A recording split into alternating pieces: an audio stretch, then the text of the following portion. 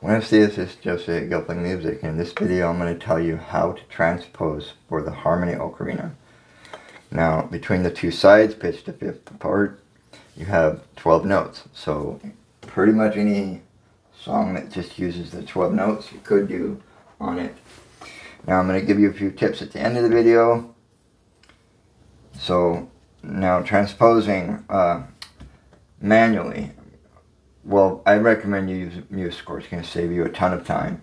So just use that and transpose up or down there. But to do it manually, just for an idea, if you're in E flat, go a half step up to E, two half steps up, and you're in F. So it's a second up from E flat to F.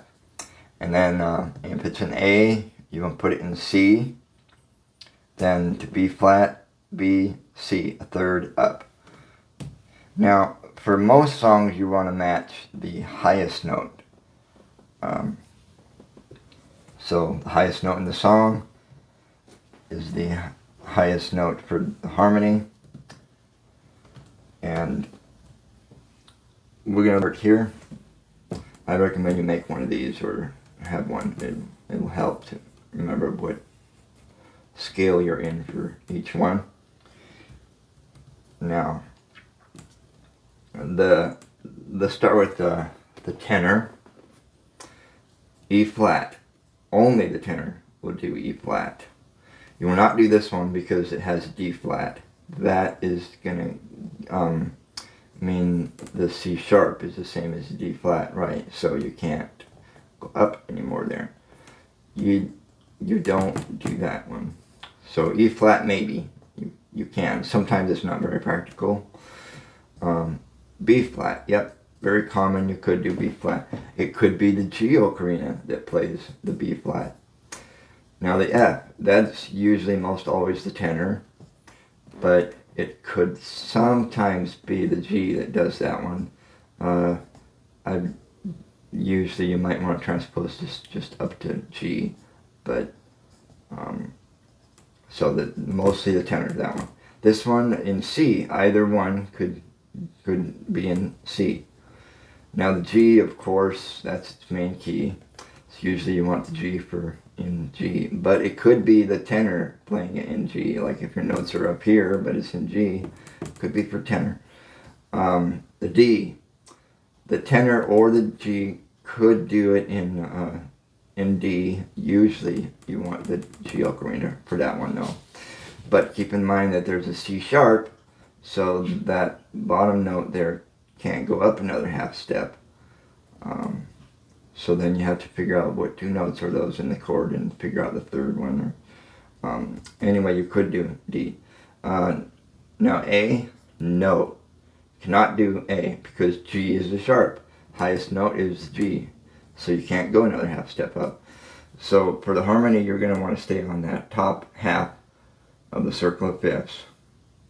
So transpose into the top half there, and, and then you're fine.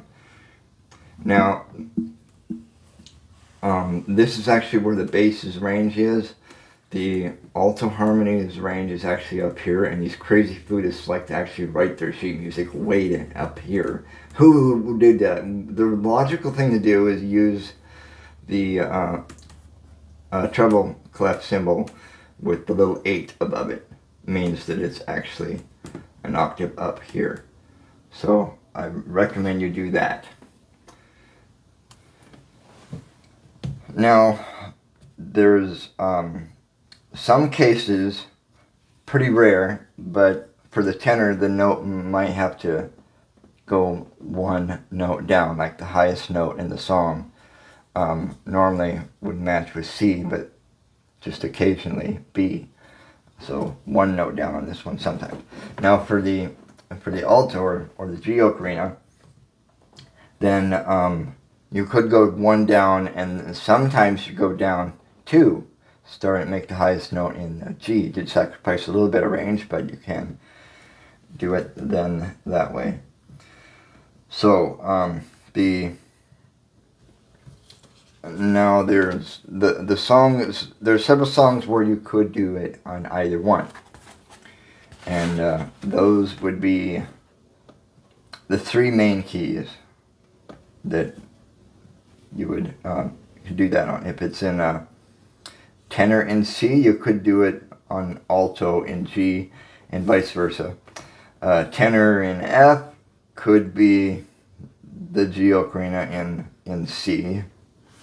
The tenor in G, well, you or you could do that in the alto D. The fingering will be the same for for those three. I had the one there. Now, if it is for the tenor, and it's just going to transpose for the tenor in E flat, and that's maybe not the best song to do an E flat in, or there's a lot of uh, faster notes and you got to um, half cover. This one can be a little tricky.